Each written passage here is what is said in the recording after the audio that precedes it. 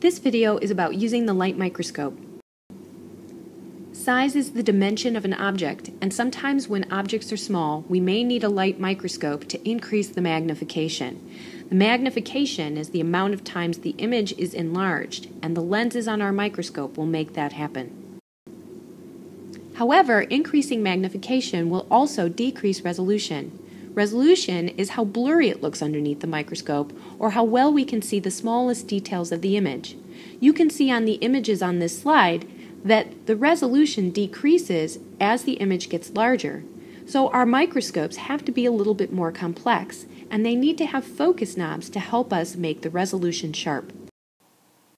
When getting your microscope out of the cabinet, you're going to grab it by the arm and you're going to support it by the base and that's how you're going to carry it back to your desk.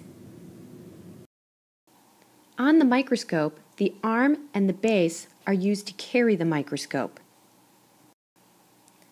The stage is where we place the slide, and the stage clips will hold the slide in place. The light source provides the light for us to see our object, and the diaphragm will adjust the amount of light that hits the stage the ocular lens will magnify 10 times, and the objective lenses will adjust the magnification because they each have a magnification of 4 times, 10 times, or 40 times magnification.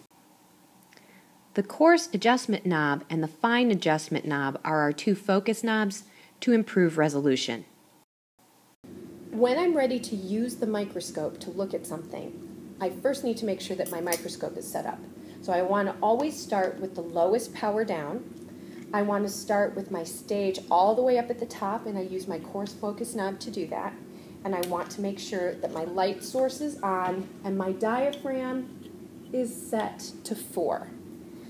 Then I'm going to take my slide and I'm going to place it on the stage so that my object, which is under the cover slip, is underneath the lens.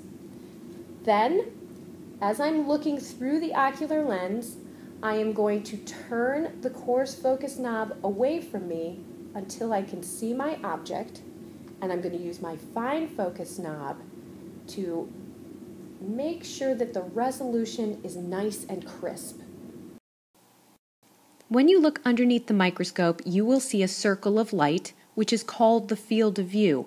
Hopefully your object will immediately appear in that field of view. You want the object you want to examine to be in the center of your field of view. This object is already in the center, which means I will always see it even when I change magnification. But if I was looking at this object, as I went to high power, it would no longer be visible under the microscope. So before I move to the next power, I want to move my slide and my object to the center. Now my object is centered, so I am able to move to higher powers without losing view of my subject. Since I'm on low power, the next thing that I'm going to do is I'm going to turn it to the next power objective lens.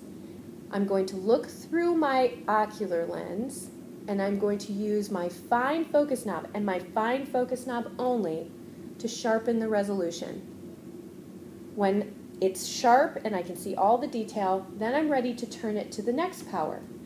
I then look through the ocular lens, adjust my fine focus, and I should be able to see everything, all of the detail, without losing sight of my object. I hope this helps.